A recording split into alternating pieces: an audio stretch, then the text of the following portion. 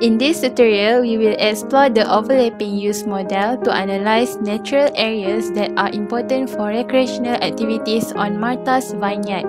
The model evaluates areas that are important depending on their multi-use potential.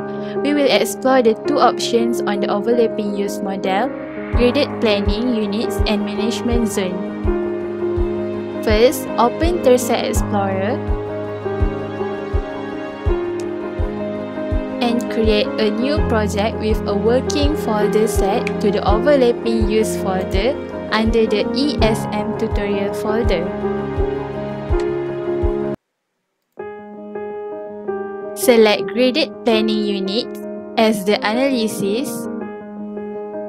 Select Overlapping Use. Then select Graded Planning Units as the analysis level to model. Using this option, we'll analyze each pixel location for its potential for recreational activities. Enter the file overlapping use as the overlapping use table. Enter the file overlapping use as the overlapping use table This table contains the interactivity way for each activity describing the importance of each activity relative to one another. Click the Insert Group File button and select MV Activities. Then enter the 10 activity layers into the grid. Select to use the important human use areas options and select lighthouses as the points indicating location of human use.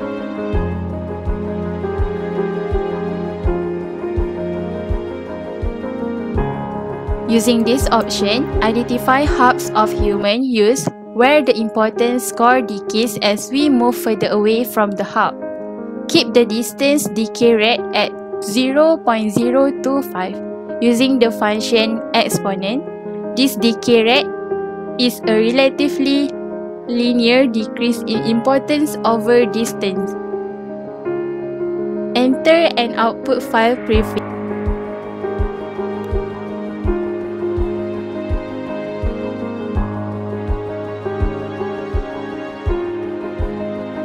and click Run. Then the result is frequency of overlapping use activity and overlapping use importance. Now we are going to try the management zone option. Go back to the top of the panel and select management zone. Then enter the analysis level image management zone.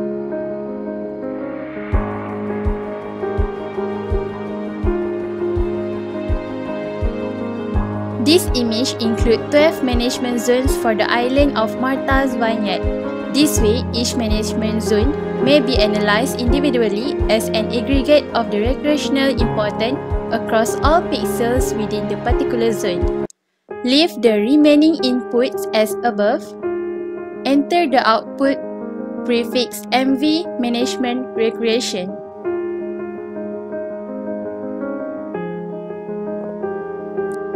Then click Run. And this is the result for management zone which is frequency of overlapping use activity and overlapping use importance.